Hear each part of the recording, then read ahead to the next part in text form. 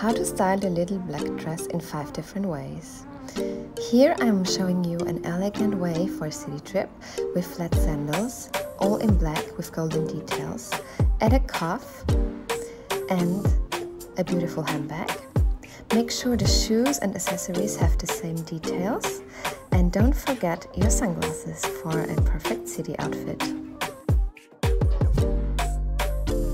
The next look is a casual business look trainers, the dress and the blazer on top. Wear the blazer above your shoulders for a stylish look and don't forget some nice accessories. You're ready to go, but what about the handbag? Yes, there we go.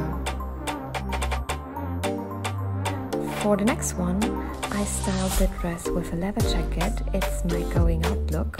I add boots in trendy animal print and don't forget your clutch. Next one is a office look uh, where you transform the dress into a skirt. Just add a nice blouse or top with a peplum cut on top and in the second you transformed your dress into a pencil skirt.